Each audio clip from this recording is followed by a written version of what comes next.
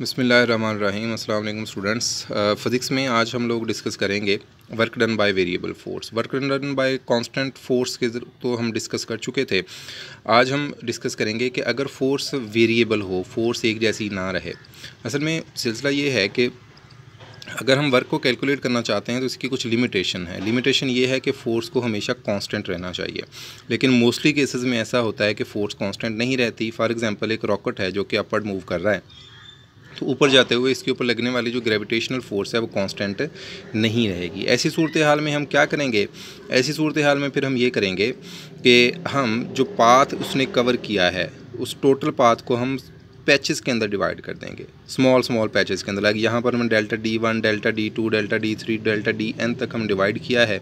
ये डिवीज़न इस तरीके से होनी चाहिए कि हर पाथ के लिए जो फोर्स की वैल्यू है वो कांस्टेंट रहनी चाहिए। For example delta D one के लिए फोर्स है एफ़ वन और यहाँ पर जो एंगल लग रहा है वो है theta one delta D two के लिए जो फोर्स है वो है एफ़ टू और जो एंगल लग रहा है वो है डेल्टा थीटा टू सिमिलरली हम एन तक जाते हैं।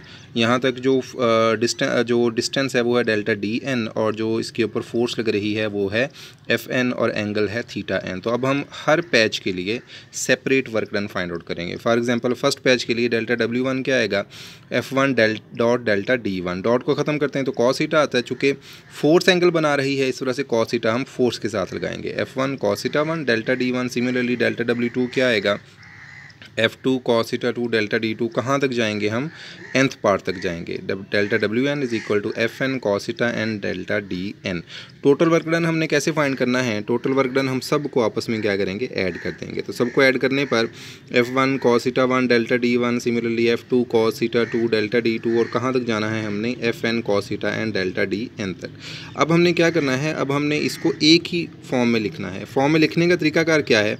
हम देखते हैं कि कौन सी चीज़ वेरिएट कर। रही है यहाँ पर देखें one one one two two two three three three N N N तो ये चीज़ वेरिएट कर रही है। जो चीज़ वेरिएट कर रही है, वहाँ पर हम आई लगा देते हैं। कोई सा भी वेरिएबल लगा सकते हैं। यहाँ पर हम आई इस्तेमाल कर रहे हैं। आई लगा दिया। साथ में हमने लगाया स्मेशन स्मेशन हमें क्या बताता है कि ये सम है सबका।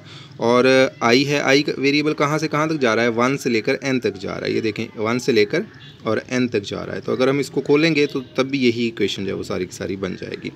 अब हम इसको ग्राफिकली भी रिप्रेजेंट कर सकते हैं। ग्राफिकली कैसे रिप्रेजेंट करेंगे कि हम डिस्प्लेसमेंट के दरमियान और एफ़ कॉसीटा के दरमियान एंगल जो है वो जो ग्राफ है वो बनाएँगे।